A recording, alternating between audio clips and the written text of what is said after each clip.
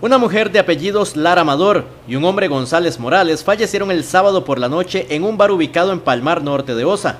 La pareja, que tenía unos seis años de convivir, llegaron al lugar, discutieron y luego se produjo la tragedia, cuando González disparó en contra de la mujer provocándole la muerte inmediata se eh, suscitó una discusión, se suscitó una problemática entre ellos, eso provocó que el varón extrajera de entre sus ropas un revólver calibre 38 que eh, lo mantenía dentro de un eh, bolso que portaba, lo colocó en la boca de su pareja y accionó el arma de fuego provocándole la muerte de inmediato. Tras el homicidio, el hombre se disparó falleciendo también en el lugar. Acto seguido, pues con el mismo arma de fuego, él la colocó también en el área de su boca y se disparó provocándose eh, su eh, muerte y falleciendo pues en el sitio. Lara Amador tenía 26 años y González Morales 32.